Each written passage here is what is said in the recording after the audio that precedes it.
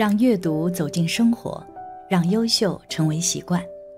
大家好，欢迎来到小叔说，小叔陪你一起阅读成长，遇见更好的自己。今天要给大家分享的是，你今生的丈夫来讨债还是还债的？看这个地方就知道。一起来听。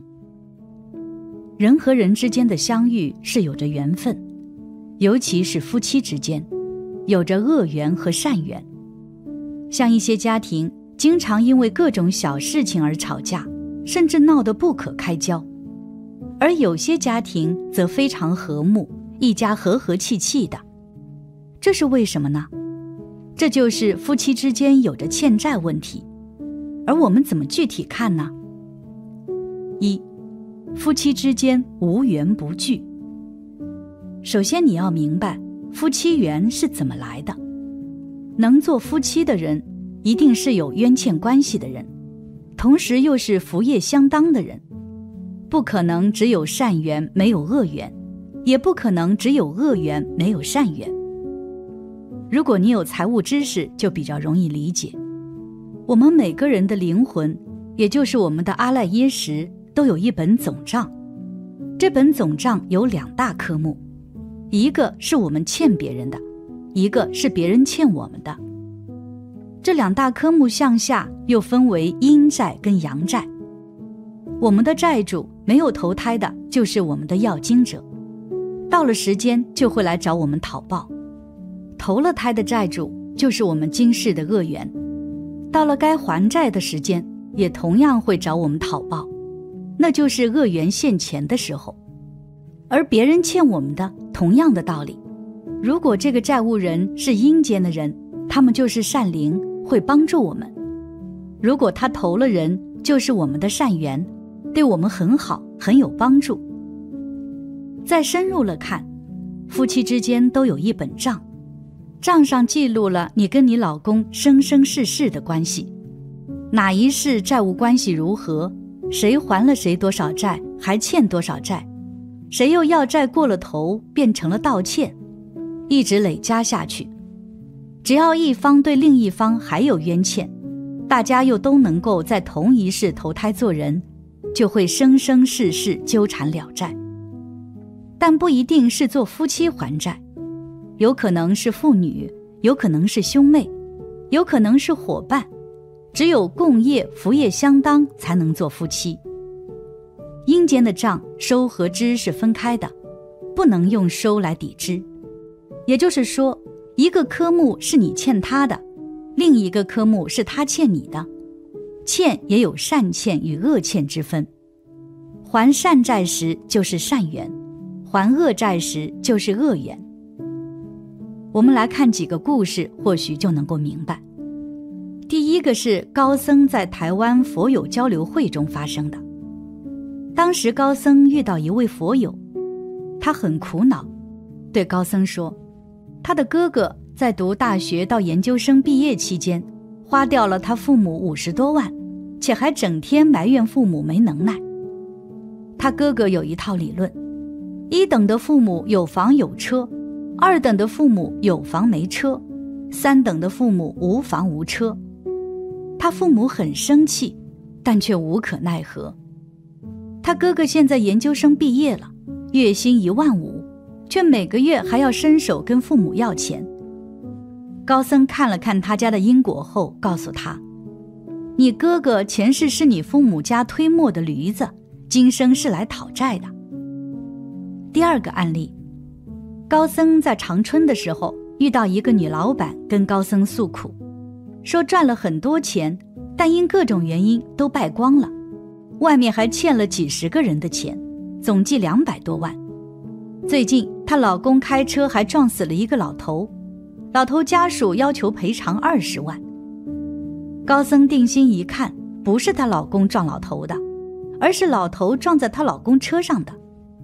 于是高僧看了看他家的因果，便看到一个人赶着几百头猪，原来该女子前世是养猪的。怪不得有这么多的债主呢，而该女主的老公也是来讨债的猪。他听后很紧张，问高僧：“他儿子和女儿前世是不是也是猪？高僧看了看，告诉他：“你儿子前世是你的保镖，你女儿前世是帮你管账的。”他听后连连称奇，说：“他也觉得这对儿女是来帮他的，而且他儿子现在是篮球运动员，身体很健壮；女儿在北外读书，在家的时候特别喜欢帮妈妈管钱。”第三个是高僧在大连时发生的，他当时遇到一位修行不错的行菩萨道的老居士，是位五十八岁的阿姨，但长相却像三十八岁，显得很年轻很漂亮。高僧在聊天的时候谈及她的丈夫，六微一看就跟她说，她丈夫对她很忠诚，但是却经常气她。老居士说：“是啊，是这样的呀。”于是高僧也没卖关子，直接告诉她，她老公是她前世骑了十三年的一匹马，马被人骑，心里肯定不痛快，跑得慢了还要挨鞭子，生气了还是要跑，这就是怨啊，有了怨才会来讨债。了解了有欠债的情况，那我们具体怎么算夫妻之间的缘分呢？二，如何算夫妻的缘分？比如，你过去生中在感情上累计伤害过老公十次，他伤害过你八次，那么反过来，你今世或者加上来世，就一共会被他伤害十次，而你则会伤害他八次。按照时间来累算，就是对他不好的时间加起来有六年，他对你不好的时间加起来有四年，那么今世。你们两个人互相折磨的时间就是四年，剩下两年是他单方面折磨你。以上是恶欠，同理可证，你对他好的时间有十六年，他对你好的时间有二十年。今世反过来，前十六年是双方互还对方的善债，就是善缘，所以会非常恩爱。十六年的善缘期到头了。你老公欠你的还完了，他对你的感情就淡了，可你欠他的还没有完，所以你还是很放不下他，爱得死去活来。等这四年你单方面痛苦的时期结束，接下来你们的六年恶缘期就开始了。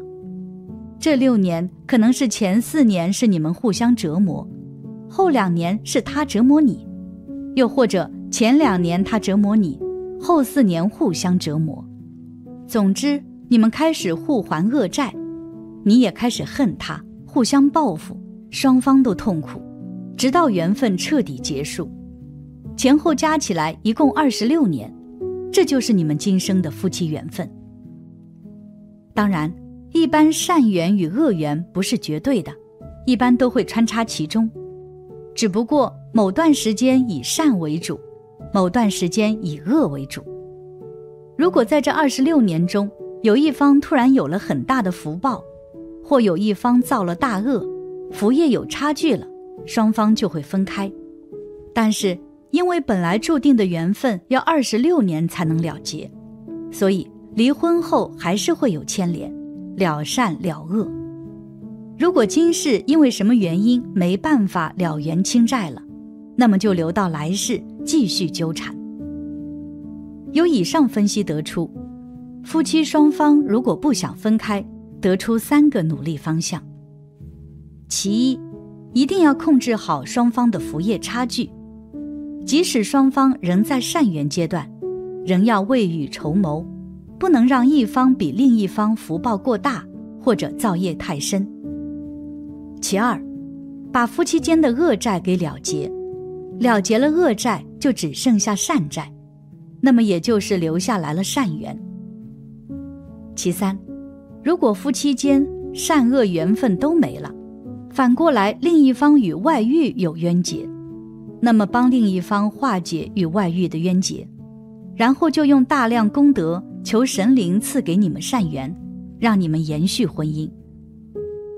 另外，除了以上情况外，还有一些配偶。因为贪图享乐或者不自知，就会有外遇，这又是什么意思呢？三，如果配偶有外遇该怎么办？其一是这个阶段自己欠配偶比较多，其二，配偶与其他异性有冤结，必须化解。如果配偶在外面不欠债了，就不会流连忘返了；如果自己不欠配偶的债了，配偶就不会令自己伤心难过了。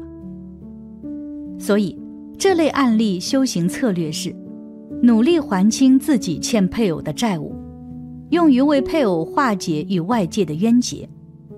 当外债还清，配偶自然就回家了。当配偶道歉自己的了，当然这种道歉不是欠恶债，而是欠善债。这时配偶就反过来对别人没兴趣，对自己痴情一片了。阳间关系的债务关系。通常是由阴间有债务关系的要经者来执行，恶缘现前，往往就是要经者上来讨报的时候。如配偶已有外遇，婚姻出状况，说明此时夫妻双方都有要债者，一般是过去生中双方或一方在感情上伤害过的众生，一定要快速准备法事超度走。此外，命中注定坎坷的婚姻。说明一生中不同时段都会有要债者上来，可能是自己的，可能是配偶的。总而言之，我们身边的人可能是来报恩的，也有可能是来还债的，而这些都是因果轮回。前世你欠下，今生要还；前世你给予，今生来还你。一个人如果人缘极佳，事情皆顺。说明前世结下的善缘多，今生也没有做太多恶事；反之亦然。欲知前世因，今生受者是；欲知来世果，今生作者是。不用找人去看什么因果，你所遭遇的都是你曾对对方所做的。因此，我们只有善待万物，就可以善待自己。也不要以为自己是什么高等物种。就可以随便轻视他人。其实我们都身处在轮回中，只不过所造的业，因此这也就有了前世今生的纠葛。而如果要想知道你今生的丈夫妻子是谁，只需要知道这一点，或许就能够看清。一，缘分天注定，缘天注定，缘是机缘，是投缘。是冥冥之中逃不掉的注定，彼此有缘，哪怕相隔万水千山也能相逢。正所谓有缘千里来相会，无缘对面不相逢。彼此无缘，哪怕面对面也会错过。红颜是千百次轮回中你曾经回眸过一次的人。《红楼梦》开篇记载，西方灵河岸上三生石畔，有绛珠草一株。时有赤霞宫神瑛侍者，日以甘露浇灌，这绛珠草使得久延岁月。后来绛珠草化身为林黛玉，神瑛侍者就成了贾宝玉。前世我欠你一滴露水，今生我还你一行眼泪。今生的红颜是前世你的兄妹，来交前世未交完的心。从前有个书生，他与一个女子相恋。后来，那个女子与他人结成了夫妻。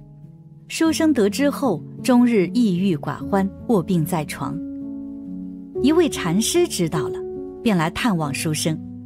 他交给书生一面镜子，书生透过镜子看到一片海滩上躺着一个人。一个年轻人路过时，不忍看着女人沉尸荒野，就拿了一件衣服盖住她。他离开后，又来了一个人。这个人挖坑将这个人埋葬，还立了一块无名碑，让女人入土为安。禅师说：“那个人就是你今生的恋人，你前世就是替他盖衣服的人。他为了还你的恩情，与你有一段缘分，而与他结为夫妻的人，是上辈子让他身有归宿的人。今世的爱人，是他前世让他入土为安的那个人。”要用一辈子来报答他的恩情，可见两人的相遇并不是偶然的，而是天注定，有着缘分。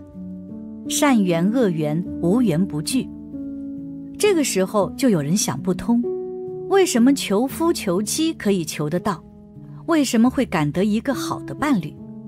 人不是都有感情的吗？难道感情也是可以勉强的吗？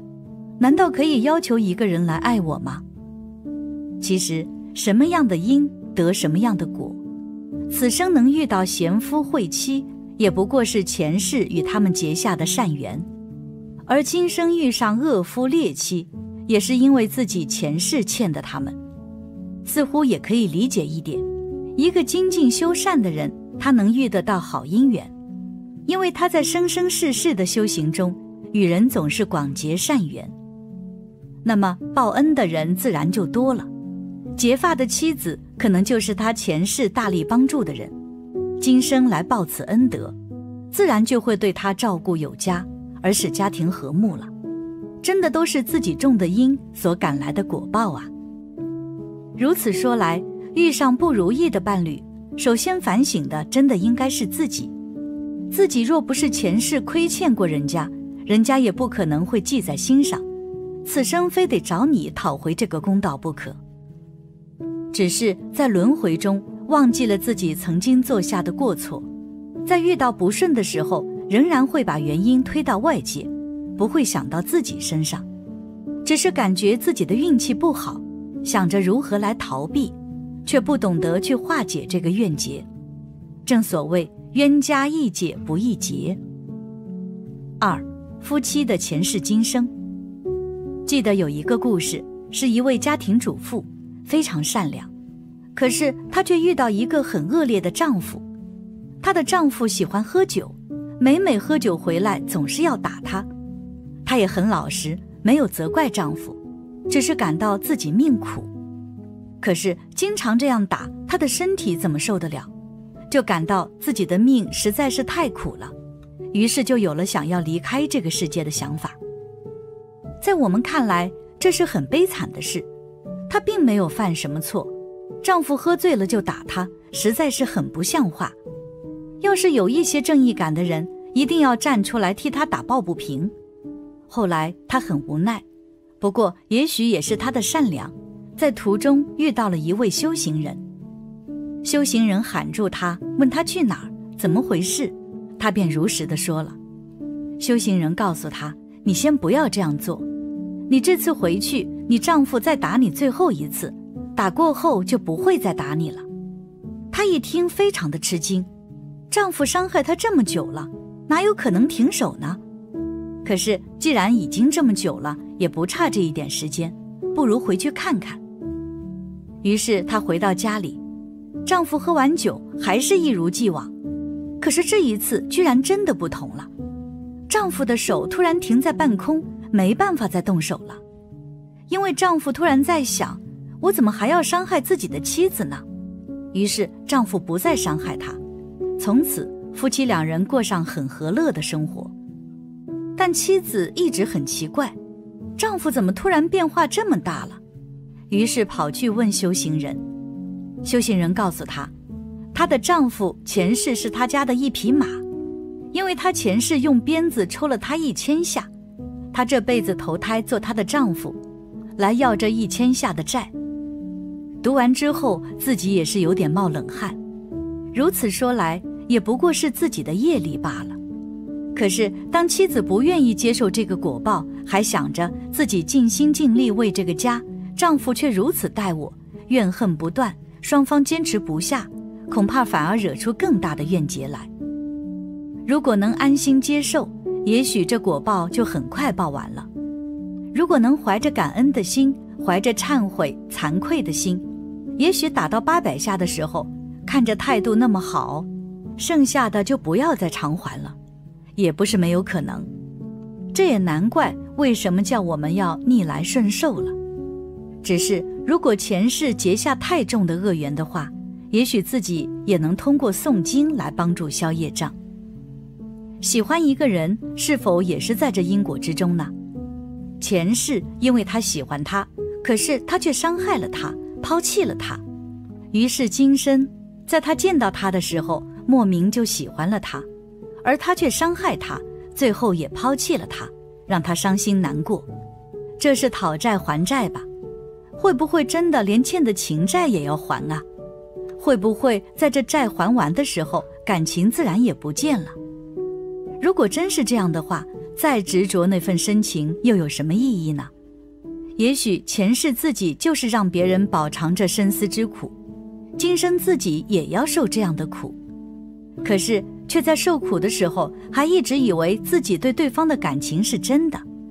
可是三年过去了，五年过去了，感情的火焰还会继续的燃烧吗？也许他在自己的心中已从一个无可挑剔的护花使者，变成一个令人讨厌的负心汉。这是为什么？也许自己不肯还债，也许还债时咬牙切齿，也许又做了许多伤害对方的事，于是他更加的生气，要债要得更多。于是乎，双方的问题越扯越大。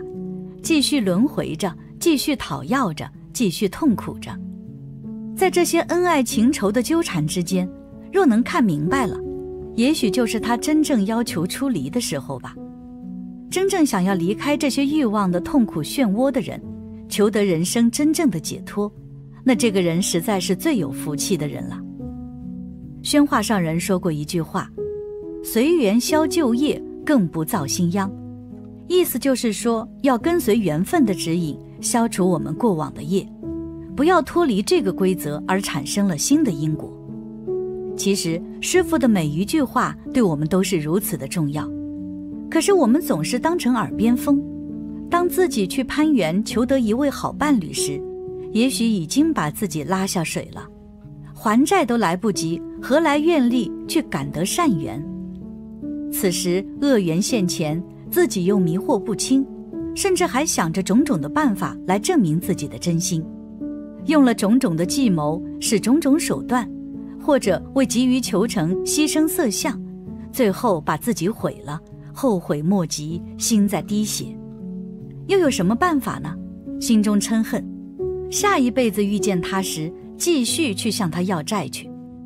说的轻巧，自己也是一个不明因果、不肯放下。继续轮回的人，而真正明白因果，要真正让自己清醒，这样才能解脱。一起来听。风水讲究排序，讲究阴阳。都说娶一个好女人旺三代，可想而知，女儿在一个家庭中起了很重要的作用。婚姻福报和钱财福报不一样，一般人不嫌弃、不邪淫，二十多岁就可以结婚生子了。你想想看，现在年轻人二十多岁都是穷小子一个。但是告诉各位，没结婚前穷小子才是正常的，那些二十多岁就很有钱都不正常，靠爹的多。为什么叫成家立业？先成家后立业。有的人男的说没钱结不了婚，所以要。要赚很多钱才结婚，女的就觉得要找个有钱的老公，这都是错误的。有句话说。妻和子都是财库，一个男人要有钱，就要先结婚，有了妻和子就有财库了，就能有钱。多少人没结婚，赚很多钱都没了，尤其男的，为什么？因为没有财库，钱财没有财库，怎么存得住？所以男的要有钱，先结婚。我认识几个人，结婚前都是穷的，但是女人品行好，女人不嫌弃，结婚没多久，事业就做开了。所以不嫌弃的女人福报大，旺夫。然后男人去赚钱，她当老板娘就好了。这个就是老天爷给不嫌弃的女人的奖励。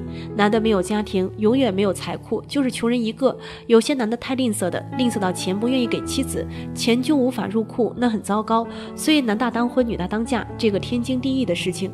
所以女人要不嫌弃少年穷，因为富有都生了孩子，后来事业才好起来的。所以智慧的女人是不会根据物质来找对象的。但是做生意的女的往往容易单身，因为女性本来是感性的。情感的，超越数学的。可是做生意的女的比较理性，比较注重得失，所以女性不要做生意命苦。人最美的品质就是不嫌弃，知足。知足就是一种成就相。一个人不知足，找个对象总是嫌弃，然后相亲几十次。好像市场买菜，现在人就是太小聪明了。凡是相亲超过三次，都是业障很重。你已经嫌弃了三个人，你想想看，为什么会如此？本来婚姻好的人是不用相亲的，相亲的人都是婚姻运一般才靠相亲。婚姻好的介绍一个亲人，马上就可以结婚。现在相亲到了不认识，只看钱、学历的程度，已经是婚姻恶业很重。嫌弃三次，凡事不过三，以后就会惯性的嫌弃。所以要知足不嫌。弃，男女都一样。有些父母的嫌弃让子女婚姻糟糕，孩子同意，父母不同意，孩子婚姻就糟糕。到了四十多岁都无法成家，父母嫌弃的原因，婚姻你要看自己福报，不是说你有钱有财富福报就有婚姻福报，不一一定的。首先要尊重，有的女人会赚钱不尊重丈夫。或有的男的有本事瞧不起妻子，这就是损婚姻福报。作为男人，糟糠之妻不下堂，就是和你吃苦奋斗过来的妻子是不能轻易离婚的。这种行为很损阴德的，导致会晚年生病，多少钱都治不好。这种色劫是很可怕的，色的劫难应该用中术之道来化解。中国真正道家讲究中术之道，汉地佛教也是如此，所以一般没有中术之道的都喜欢跑去其他。为什么很多明星跑去藏地皈依？因为他们缺乏中术之道，为汉地关公护法所隔阂。藏地不重夫妻中术之道。婚姻是感召的，男的品行好，自然感召好女子。男女互相感召，男的若忠恕，女的就忠贞；男的若出轨，女的就不贞洁。互相感召，怨不得谁。头上三尺有神明。婚姻是大事，但是经营过程，男女双方都要好好经营，付出才有回报。只有索取没有付出，下辈子婚姻就很困难，甚至单身光棍儿。第一。婚姻要不追求完美，在婚姻吵架都是正常的，因为不完美。做人要接受不完美，人都有缺点和优点，先学会接受缺点，才能得到对方的优点。不要想着对方全是优点，且全对自己好，那是不可能的。不管男女都没有那么命和福报，所以婚姻就在接受对方不完美中才能慢慢好。所以男人邋遢，女人也不要嫌弃。女人唠叨、火气大、脾气大，男人也不要嫌弃。尤其女性月事期间还有更年期，根本自己无法控制自己，这时本身就是控制力差。这个男的如果能够包容，同时关心体贴妻子，婚姻就能长久。第二个，经济上妻子属于财库，一个家庭兴旺，都是男人赚钱存女人账户上，因为女人属于财库。你看曹德旺，就所有钱在他妻子的账户上。婚姻是最大的信任。你看，两个人在一起没血缘、没亲情，却在一起，这不是信任吗？所以，男的应该信任女的，钱财全部给妻子和孩子，这个家就慢慢兴旺。钱财要入库，妻子属于财库，所以命理里面就有妻财这一称呼。这就是古人的智慧。男人不是财库，男人太多钱不入库，最后肯定倒闭。你看清朝末年，胡雪岩有钱纳妾一大堆，最后破财，自己下场凄凉，妻妾也跟着全部遭难。第三就是忠恕，对待感情要忠贞不二。结婚后不管男女都要和异性保持距离，尤其男性带一大堆女性下属的，一定要谨慎，保持距离，不要动邪心思，更不要搞暧昧。不保持距离对自己不好。古人讲的“劝君莫借风流债，家中自有还债人”，不要贪图一时的。男的如果和女的有接触，不保持正念，就会留下桃花眼。首先，忠恕之道是必须的，不要以身试法。作为丈夫，要对妻子忠贞不二，只有忠恕之道才能走得远，才能相伴到老。同时，要感念妻子照顾家庭和孩子的恩德。